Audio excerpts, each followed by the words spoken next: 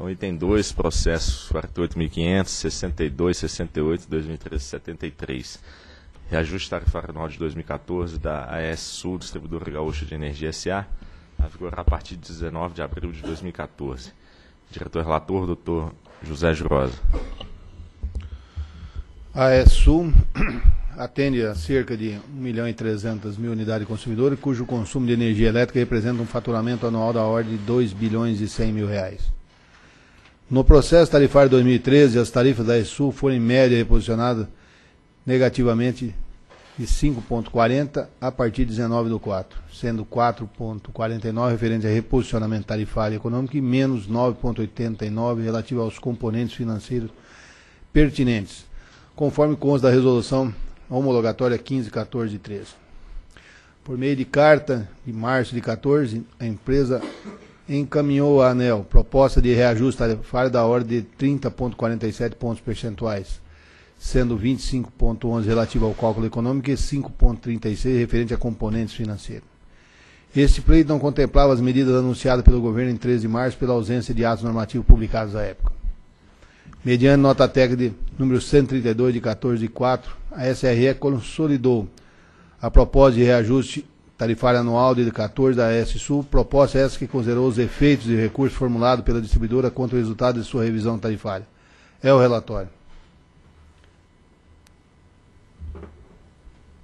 Procuradoria. É, procuradoria. Procuradoria que já se manifesta nos itens 2 e 3 de reajustes tarifários.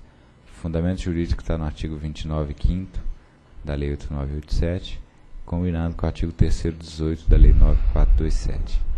Previsão contratual está na cláusula 7 dos contratos de concessão. A Procuradoria examinou as minutas de resolução homologatória sobre aspectos de legalidade entende que a matéria está em condição de ser deliberada pela diretoria. Jurosa, só um minuto. Vou confirmar com o representante da SU se ele tem interesse de fazer a sustentação oral? Não? Ok. Então, de acordo com a nota técnica 132, considerando como referência os valores praticados atualmente, os efeitos do recurso formulado pela empresa contra o resultado de sua revisão tarifária, o efeito tarifário médio a ser percebido pelo consumidor da concessionária será de 29,54 pontos percentuais. Conforme ilustra a tabela 1. Do percentual do ERT econômico de 11,89, 10,20 diz respeito à variação do curso da parcela A e 1,69 a atualização da parcela B. Ao IRT econômico foram agregados os componentes financeiros a serem recuperados no ano tarifário de 2014, correspondente a 4,53 alcançando-se o IRT médio de 16,42. Então aí nós temos na tabela 1 qual é o efeito médio a ser percebido pelo consumidor. Que nesse momento é o maior efeito médio que nós temos é, deliberado até, até o momento. Né? A tabela 2 apresenta os itens de custo que conduziram ao efeito médio, com a respectiva variação da RTA de 2013 e do ajuste atual a participação percentual dos itens do custo da parcela A e B, a distribuição da receita para cobrir os custos dessas parcelas e a contribuição de cada, de cada componente financeiro.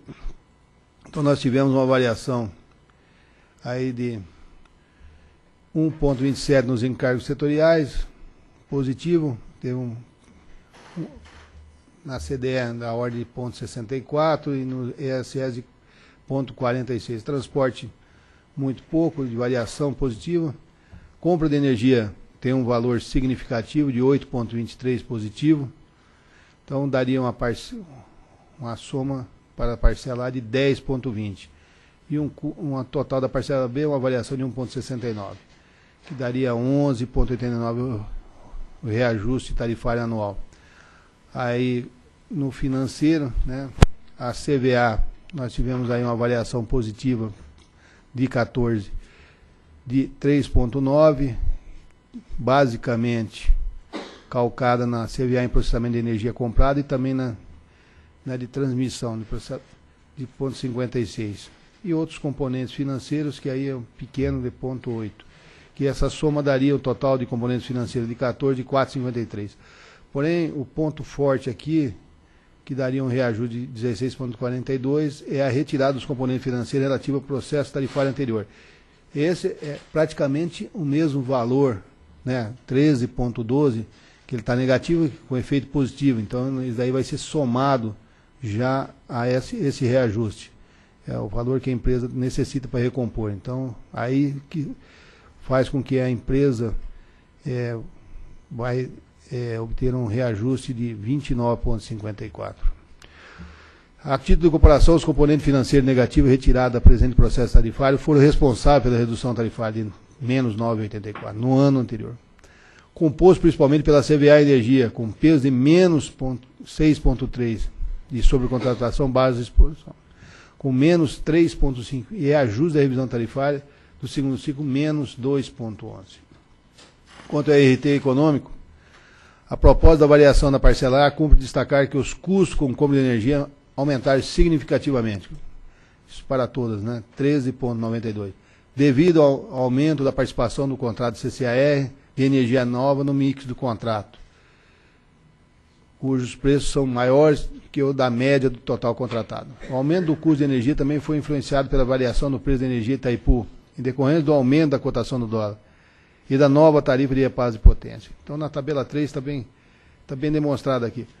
O grande problema é que o mix dela está muito concentrado na energia existente e na energia nova, o grande montante de, de energia fornecida. E eles sofreram uma variação bem significativa. Embora que na nova ela teve uma perda, mas é, você tem Itaipu que teve um aumento razoável. Então, o mix de mercado da empresa que já era alto de 137 reais, passou para 156, uma variação de 13,87. E o valor total dos encargos setoriais aumentou 16,32 em comparação com os valores referentes ao reajuste tarifário de 2013, correspondendo a um acréscimo tarifário médio de 1,27. Tal comportamento resulta, sobretudo, da variação nos valores da CDE, tendo em vista a aprovação de novas cotas anuais da CDE, conforme a resolução 1699. Em relação aos custos de transmissão, observa-se um aumento de 12,23, motivado principalmente pela previsão de entrada em operação comercial de novas instalações de transmissão. Alegrete, Santa 2, Santa Maria 3, São Vicente do Sul, Charlau e Uruguaiana 5, ao longo do ciclo 13 e 14, e os seus reflexos na TUST associada aos pontos de conexões da SU. Para a atualização da parcela B, B considerou-se a variação acumulada do IGPM de 7,3, subtraído o fator X de 1,12, referente ao, ao período de abril de 13 a março de 14. Cabe ressaltar que a atualização da parcela B representou 1,69 na composição do IRT da concessionária. O fator X acima mencionado advém do resultado da última revisão tarifária da ESU. Por meio da resolução homologatória 1514, foram estabelecidos para o atual ciclo tarifário dessa distribuidora os valores do componente PD e T do fator X de 1,12 e 0, respectivamente, a serem aplicadas na atualização da parcela B nos reajustes tarifários da concessionária de 14 a 17. Conforme metodologia definida no submodo 2.5 do PRORET, a definição do fator X envolveu também o componente Q, determinado no momento de cada reajuste tarifário para ser aplicado na atualização da parcela B da concessionária. Dados a variação média dos indicadores DEC-FEC da ESUL entre os anos civil 12 e 13, que expurgando as interrupções decorrentes da, de causas externas ao sistema de distribuição foi de menos 1,92. E o desempenho relativo da concessionária alcançou um valor de componente Q de zero, considerando a atualização da parcela B no reajuste tarifário de 14. Então aqui está a composição do fator X, né, na verdade ficou no valor de 6,18 aqui do resultado obtido. Os gráficos a seguir apresentam a participação de cada segmento no custo de composição da receita. É aqueles gráficos tradicionais que a gente tem aqui de pizza. Vamos aí ao gráfico 2, né, que mostra que aí o custo da energia é responsável por 47,5% do custo total da, da, receita. O custo da distribuição de 20,5%, os encargos de 18 mais 3,1% do, do Confim, que vai dar aí 21,1%. Encargos setoriais 6,4% e o custo da transmissão 4,5%. Quanto aos componentes financeiros, no que diz respeito a serem recuperados no próximo período tarifário, destaca-se a CVA, a neutralidade dos encargos setoriais, o ajuste financeiro decorrendo do pedido de reconsideração formulado contra o resultado da revisão tarifária, O montante dos componentes financeiros totalizou uma variação da tarifa de 4,53%. E em conformidade com a conclusão do processo, que analisou o pedido de reconsideração formulado pela ESU contra o resultado da revisão tarifária, consubstanciado na resolução homologatória 1514, cuja decisão do colegiado foi de ontem, né, foi de alterar de menos 5,40 para menos 0,02, o reposicionamento tarifário da recorrente, estabelecido na terceira revisão tarifária periódica, com efeito tarifário a ser considerado no reajuste de 14, esse que nós estamos analisando no momento, inclusa a alteração do percentual de perdas técnicas regulatórias, ou seja, excluída a energia injetada no nível de tensão A1, de 6,56 para 6,75. Estão sendo incorporados os seguintes ajustes financeiros nesse RT, neste ao IRT de 14. O recálculo da base de remuneração no segundo ciclo da, revisão tarifária periódica. O recálculo da CVA de energia de, de IRT de 2013. O ajuste do cálculo da neutralidade do, e o CVA do saldo a compensar de, do IRT de 13. E uma bolha financeira de ajuste de mercado e perdas técnicas de IRT, nos quais totalizaram 22 milhões e 880 mil. Já atualizado. Isso daí é sobre, principalmente, quanto aos alimentadores atípicos que eles têm é, e tem uma perda muito grande. Que foi motivo de, de análise é, por parte das áreas técnicas. A comparação do IRT proposto pela, pela ESU e o recálculo, e o calculado pela área técnica. Então, nessa tabela 5 aqui, apresenta é, o que a empresa pediu e o que, o que efetivamente nós estamos concedendo. Então, o IRT, a empresa inicialmente tinha pedido a ordem de 25,11, nós estamos com 11,89. E do total do reajuste tarifário daria 30. Isso daqui ainda sem considerar os, os, é, os componentes financeiros anteriores, né? 30,47 e na verdade nós estamos, é, pelos nossos cálculos, concordando com 16,42 pontos percentuais. Logicamente, quando a empresa havia pedido, não tinha ainda saído aqueles decretos do governo e tal, então ela não tinha a melhor das informações. Entre as diferenças entre o pleito apresentado pela empresa e o IRT calculado pela ANEL, destaca-se a projeção das despesas de compra de energia, os valores considerados pela ESUM para os encargos setoriais, em especial a CDE, e o ajuste resultando dos efeitos do recurso da, contra a resolução 1514. Quanto à evolução da tarifa, aí nós podemos observar que, nesse caso, é, se você comparar com aquela tabela que nós temos usado ao longo de, de todas as análises, a tarifa da empresa lá em abril de 2007, tarifa B1, né, ela estava em 291, e ela nesse momento ela vai, vai ficar maior do que a tarifa antes da revisão tarifária extraordinária. Muito em função desses componentes financeiros que foram todos alocados de uma vez, né? Então nós vamos ter uma tarifa superior. No caso é a primeira tarifa que vai ser superior à da RTE do ano passado, até o momento. Quanto à subvenção da CDE, nos termos do inciso 7 no artigo 13 da Lei 10438, é, a Eletrobras deverá repassar mensalmente a AESU em relação ao período de competência de abril de 14 a março de 15 até o décimo dia do mês subsequente 14 milhões 389, que contempla o ajuste referente à diferença entre os valores previstos e o realizado no período de 13 de fevereiro de 13 a março de 14, bem como a previsão no período de abril de 14 a março de 15, que é os valores referentes à CDE. Do exposto e do que consta do processo, voto pela emissão da resolução homologatória com o objetivo de, primeiro, homologar o reajuste anual das tarifas da Companhia Sul Paulista de Energia. Não, aqui está errado, não é Sul Paulista. É, desculpa. S Sul, é, tem que corrigir a partir de 19 de abril de 14, que conduz ao efeito médio a ser percebido pelos seus consumidores de 29,54, sendo de 30,29 para os conectados em alta tensão e 28,99 para aqueles em baixa tensão, decorrendo de RT médio de 16,42. Além de fixar as tarifas de energia e as tarifas de uso do sistema de distribuição aplicáveis aos consumidores e usuários da SSU. Também aprovar os valores de previsão anual dos encargos de serviço sistema e de energia de reserva. E, por fim, homologar os valores mensais a ser repassado pela Eletrobras à ESU referente aos descontos incidentes sobre as tarifas aplicáveis aos usuários de serviços públicos de distribuição de energia elétrica. É o voto. Em discussão. Senhores diretores, aqui trata-se, conforme o relato do Dr. Jurosa, do primeiro processo de reajuste tarifário da SSU.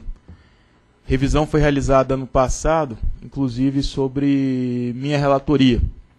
E na revisão, que acontece em média a cada quatro anos, é um evento necessário para se manter o poder, se manter o equilíbrio econômico e financeiro das distribuidoras, que leva, a empresa que leva energia à casa do consumidor, ao comércio, à indústria.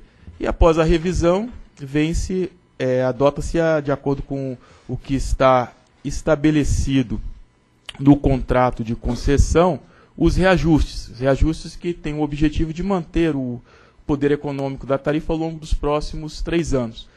E no reajuste se faz o repasse integral da parcela A e na parcela B aplica-se o IGPM menos o fator X. É um processo que, digamos assim, não tem muita margem da agência atuar. É aplicar exatamente uma fórmula que está estabelecida no contrato de concessão. De acordo com o relato do Dr. Jurosa, o IGPM no período é o primeiro reajuste do ciclo, então ainda estão por vir mais dois. O GPM variou 7,30. O fator X adotou-se 1,12. Lembro que no fator X nós estamos empregando uma das inovações dessa agência na, no estabelecimento do terceiro ciclo tarifário, que foi justamente a criação de um indicador para refletir a qualidade da energia fornecida, que essa qualidade ela se refletisse na tarifa. Era uma preocupação da diretoria e assim o fizemos no terceiro ciclo. E isso se dá por meio do componente Q, que é definido em cada reajuste. Então, nesse processo, o doutor Jurosa coordenou o estabelecimento do componente Q para concessionário. O objetivo da ANEL, ao, ao fazer isso, é incentivar as distribuidoras a investir para prestar um serviço de boa qualidade e fazer com que a qualidade da energia seja compatível com a tarifa cobrada.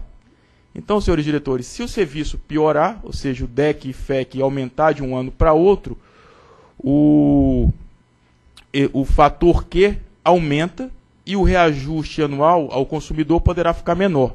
Por outro lado, se a qualidade melhorar, o indicador Q diminui e a tarifa cai menos.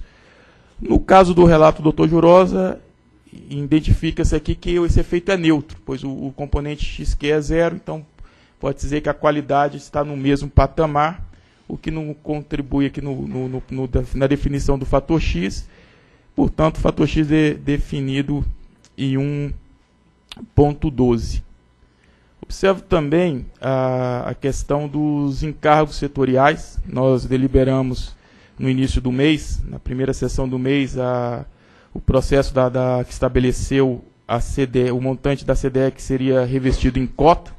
Abrimos a audiência pública com um valor de 5 bi 600, encerramos a audiência pública com o valor de 1 bi 600, que então virou a cota, e que essa cota ela repercute em cada uma das 63 distribuidoras do país de acordo com o seu mercado. E no caso aqui da S Sul, conforme se depende do voto, a parte de cota estabelecida para a AS Sul, ela reflete na tarifa em 0,64% de um total de encargos setoriais de 1,27. E temos também, conforme o, o relato, a, a, compra de energia, também um item da parcela A, representando 8,23%, um percentual até relativamente elevado. E aqui eu chamo a atenção para a tabela que está abaixo do parágrafo 9 do, do voto do relator, onde discretiza o mix de aquisição de energia da concessionária. E aqui podemos tirar conclusões importantes. primeiro, um aumento de 13,87%. O que antes custava R$ 137,48 passa a custar R$ 156,55. Por que disso? Temos a energia existente, que teve um aumento significativo de 33,7%, passando de 111 para 148. Aqui tem um fato que não é convencional. A energia nova, oriunda das térmicas, que estava valorada a 222, ela reduziu para 208. Geralmente o, ocorre o efeito contrário, que, que vê com a, a SRL, o que, que levou a essa redução no mix da, da energia nova. E também, mais uma vez, senhores diretores, faço uma ponderação que eu fiz ontem, a questão da energia oriunda dos empreendimentos hidráulicos estruturantes na região amazônica. Aqui nós temos Santo Antônio e Giral, Santo Antônio a 112 reais, Giral a 99 reais. São energia de fonte renovável e que entra na tarifa, se paga pelo consumidor por um valor bem mais baixo do que a energia térmica e, sobretudo, do que a energia nuclear. É um debate que está se aflorando agora na sociedade sobre a implantação de usinas nucleares.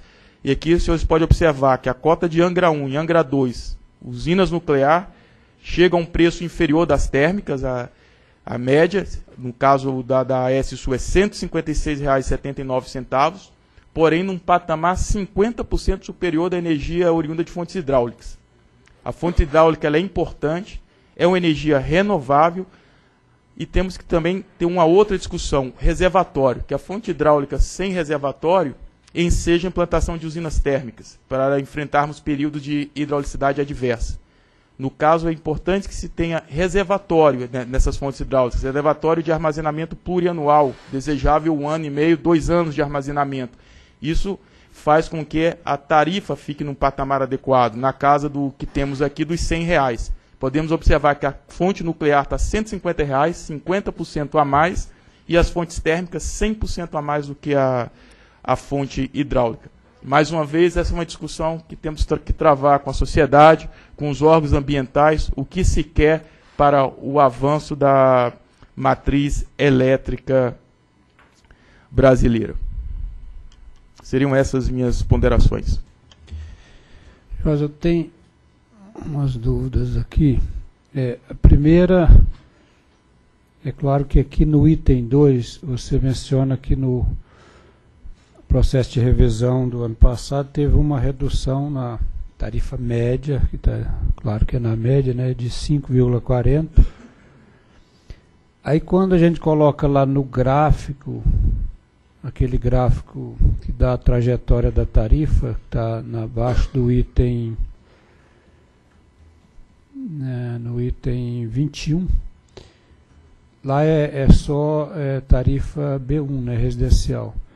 Mas o gráfico mostra que houve um aumento. De fato, será que no ano passado, o doutor André foi relator, não sei se se lembra a área, é, no caso da tarifa média foi uma redução da ordem de 5% e a residencial fe, fez foi aumentar mesmo. Estou só em dúvida da coerência entre o gráfico e o, e o que está mencionado no item 2 do relatório, porque não não está coerente, novamente clareando que lá é a tarifa média toda e aqui é só o residencial. Pode ser que tenha acontecido, mas é uma diferença muito significativa, então fiquei com essa dúvida. Agora, no processo tarifário, e se depois a área o puder esclarecer, mas no processo tarifário, que eu já aproveito para formular outra questão, aí de novo lá naquele quadro do item 7, né, que decompõe lá o, o IRT, puder projetar lá no item 7 aquele quadro. Então, é exemplo do que deliberamos ontem, ele guarda uma certa semelhança no conjunto aí dos INCAR, como já salientou o próprio é, desculpa, doutor André, essa, essa é, o conjunto dos encargos teve um impacto de 1,27, aqui é, eu diria que é normal, porque a CDE é um pouco maior do que os que nós deliberamos ontem, que já foi explicado que no caso do Nordeste e, e Norte paga proporcionalmente menos mesmo CDE, né, que impacta um pouco mais, mas está dentro do normal. Os custos do transporte também está tá normal. Custo de energia está um pouco é, mais alto do que a média do que nós deliberamos ontem, mas está dentro da, da, do que tem sido realmente o impacto do custo de energia. Portanto, o IRT econômico, né, o reajuste tarifário dos 11,89, ele está também em linha do que, com o que nós deliberamos ontem. O que chama atenção aqui são os itens financeiros. Né? No caso do item financeiro do exercício, que aí eu queria uma explicação melhor para CVA em processamento energia comprada, né, que impactou em 4,63, é um ponto fora da curva em relação aos que nós deliberamos ontem. E aí uma explicação talvez mais detalhada do, dos 13,12 que está saindo do ano anterior. Porque eu sei também que a referência do mercado é diferente, mas eu acho que merece uma explicação, porque se olharmos lá, de novo no item 2 do relatório, o doutor Jurosa diz lá que aqueles itens lá, é, aqueles 5,40 negativo, decorre de 4,49 referente ao reposicionamento tarifário econômico e menos 9,89 relativos ao componente financeiro. Bem, claro que sei que a referência de mercado é outra, mas tem uma diferença também significativa. Então, o que realmente leva ao, esse patamar do processo tarifário da, da S-Sul para um nível diferente, bem maior do que os outros, são esses dois, basicamente esses dois itens que eu falei, ou seja, CVA em processamento do ano, 4,63, e o financeiro do ano anterior, que como ele era negativo, ou seja, reduzindo a tarifa, ele esse ano entra recompondo o valor da tarifa, aumentando, portanto, os 3,12. Então, não sei se o doutor Jurosa ou, ou a área, eu queria uma explicação mais mais detalhada desses dois itens. Para mim não está claro. É, embora que, viu, Romeu, esse CVA em processamento de energia comprada, em todos os processos que nós deliberamos, ela está bem alta, em, em financeiro, todos elas. É, você pode observar, em, no, no, a Coelba foi alta, todos os uhum. casos, é, é, é, um item que tem, para esse ano, né, que esse é componente financeiro, para ser considerado já nesse, nesse ajuste, não tem nada a ver com o anterior, ele, ele, ele, é, bem, ele é bem significativo. Tá? De fato, ele está um valor bastante alto. É, eu, eu, como ele não está totalmente aberto, eu pergunto se a área teria. É, e aí, só aproveitando para completar aqui no quadro também que o, do item 9 que o André hum. destacou, é, de fato, tem aquela situação que ele comentou que a energia nova Diminuiu o valor? Diminuiu, bem-vindo, nada a reclamar que diminua, mas é, realmente tá, chama atenção. Mas até uma situação que mais também destaca é o crescimento, na minha maneira de ver, desproporcional do custo de energia existente. É, né, porque ela aumentou em termos de preço 33%. É. Talvez isso tenha a ver com a CVA, porque ele deve ter, imagino eu, comprado muita energia no leilão do final do ano passado, que foi um valor mais alto, mas chama atenção também o crescimento aqui. Então, doutor Hélito, alguém da SRE? Romeu, sobre o processo tarifário do ano passado, eu não sei se nós julgamos recurso, não me recordo aqui, que alterou o resultado do processo tarifário, mas o processo tarifário conduziu a um efeito médio para o consumidor de 3,92. Positivo, né? Positivo, é, composto por um reposicionamento tarifário de 4,49 positivo. Então, é, aqui está, se tarifas for em média reposicionada, aqui tá, deve ser 5,40 ou então está equivocado o valor. Deu, deu 3 pontos alguma coisa. Eu fiz o cálculo aqui, deu 3 e alguma coisinha. É?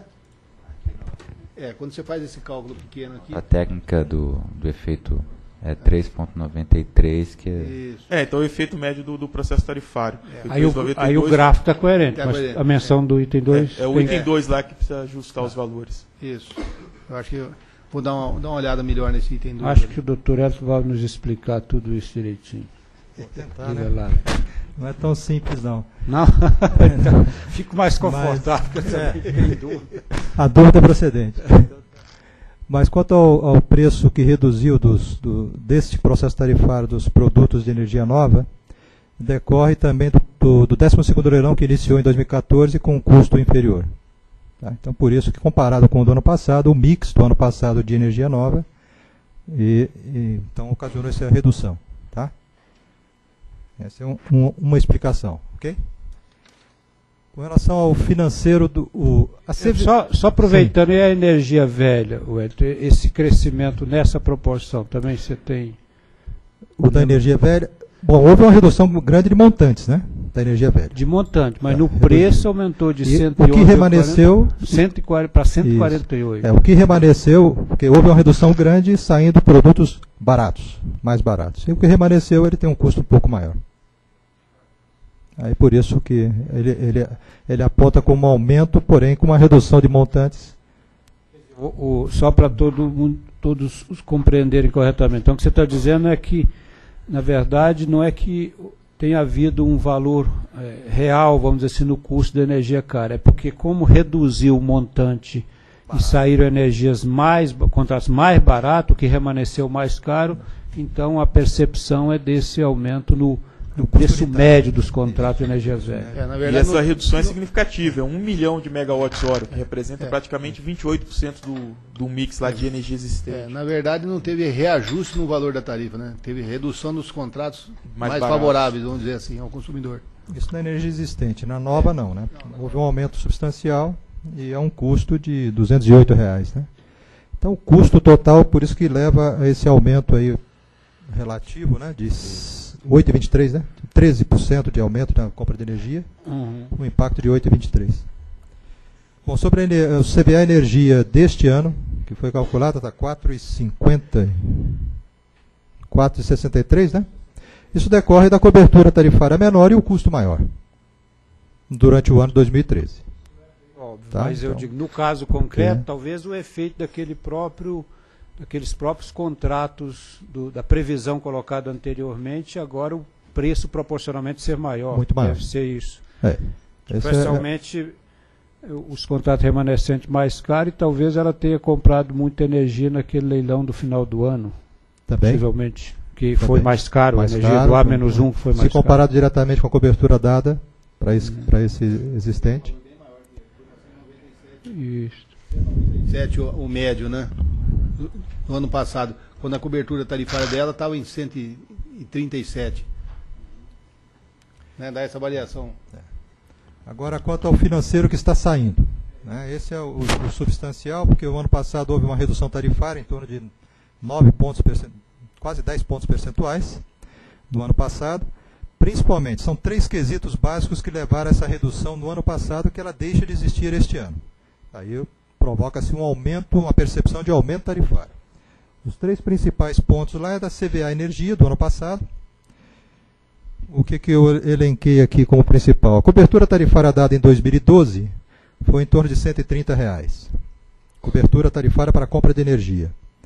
É, durante o ano de 2012, as- a- o dólar de Itaipu estava mais baixo, portanto, implica numa devolução de cobertura tarifária. Foi dada 133, o dólar tá, Itaipu custava em torno de 106, 110 reais. Então isso já leva a uma redução, um valor negativo de CVA. né?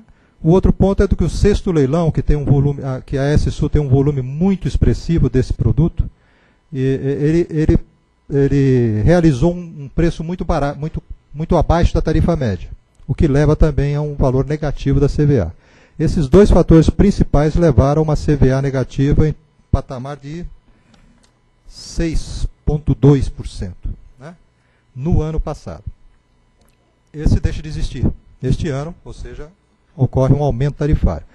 O que, que deixou de existir um negativo de CVA de 6 pontos e entra um positivo de CVA de 4, né? Então só esse movimento já nos leva à- à sens- à sensação de que há um aumento tarifário a ser percebido pelo consumidor. né? É, a sobrecontratação de energia também, calculada no ano passado, em 2013, é relativa ao ano civil 2012, também ah, ah, teve algumas características no caso da S-Sul. A cobertura tarifária de 133 reais foi comparada com um movimento de curto prazo, ela estava exposta em torno de 4 pontos percentuais, uma exposição muito grande, no ano civil 2012. Então houve um movimento, uma, um movimento grande com o mercado de curto prazo. No início do ano, ela comprou energia, ou seja, com a cobertura tarifária no patamar de 130, ela comprou energia a 20 reais. Né? 20, 30, até 100 reais, que foi em março, 123 reais em março. Então, ela compra março energia 2000 março de 2012, 12. que era o valor do PLD naquela. isso, naquela ocasião. Então, ela tinha uma cobertura muito superior ao que comprou de energia no curto prazo para fazer frente à exposição dela. E isso leva a um lucro que é devolvido um valor negativo, portanto, no processo tarifário seguinte. O outro movimento que ocorreu no final do ano de 2012, ela acabou vendendo energia. Então, pela sazonalidade do, do, da área de concessão, acabou faz, realizando vendas a um PLD em torno de 300 reais. Então, tendo uma cobertura tarifária de 133, vende a 300, obtém um lucro que devolve no processo tarifário seguinte. Esses dois movimentos, essas duas características da, da, da movimentação no curto prazo da S-Sul, em função da sua sazonalidade, é que levou a uma devolução expressiva no ano de 2013. Essa devolução deixa de existir também agora. Né? O terceiro ponto que, que, que, que, levou esse financeiro muito negativo no ano passado foi um ajuste da, da, da parcela B do segundo ciclo, em função do quilômetro de redes, empresa de referência. Isso um, um percentual mais de 2% também, que reduziu a tarifa o ano passado. Isso aí também deixa de existir. Tá? Foi, um, foi uma revisão da, do resultado da parcela B da revisão do segundo ciclo. Esses três movimentos é que levaram a um percentual muito elevado, quase 10 pontos percentuais de redução. Né? Lógico que os financeiros eles têm positivos e negativos, mas o, o, a redução tarifária importou em torno de 10%. Isso deixa de existir agora, o que ocasiona essa elevação tarifária.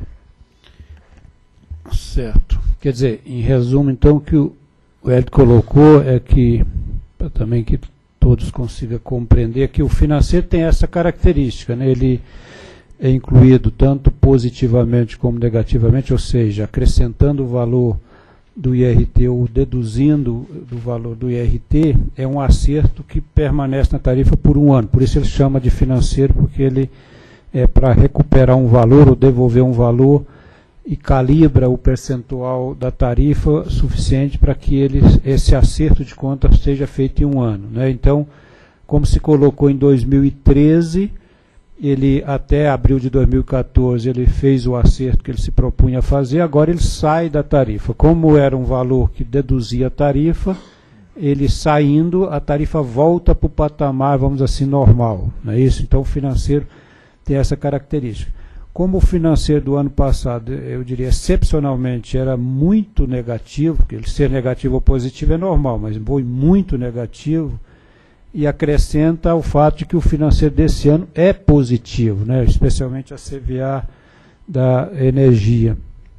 É, então aí somos 4,53 aos 13,12, então esse efeito muito particular do, do financeiro soma aí mais de 17 pontos percentuais no total do 29. Por isso que se tirar essa situação excepcional, o IRT econômico é da, da, da, dentro da normalidade dos que nós temos deliberado de 11,89. Realmente esse financeiro. Mas aí um, uma sugestão que, que eu faria, o, o jurado, talvez é, é, explicar um pouco melhor isso no, no voto, porque como realmente é uma situação excepcional, claro que para nossa deliberação, mas como fica registrado, talvez valesse a pena. Aí o, o Hélito faria um esforço assim para ser mais didático possível, para que fique uma coisa bem compreendida, porque é uma situação que merece uma explicação é, para todos que tenha a, aí a responsabilidade ou a obrigação de pagar a tarifa nesse patamar precisa estar bem compreendida. É, eu vou fazer uma, uma explicação melhor aqui num parágrafo sobre isso. Ok. Então, em votação. Eu voto com o relator. Também voto com o relator. Também voto com o relator. Ah, desculpa, aí você vai também fazer aquela questão do item 2, né? Sim, do uhum. item 2 também tem que, tem que fazer uhum. uma correção lá. Então, proclamo que a diretoria decidiu por homologar o processo tarifário da S-Sul. Também vai corrigir aqui, Isso. né? é, a partir de 19 de abril de 2014, que conduz ao efeito médio a ser percebido pelos seus consumidores de 29,54%, é, que decorre lá do IRT econômico antes dos financeiros, daquele, item, daquele índice que nós já falamos, incluindo o financeiro do ano, 16,42%.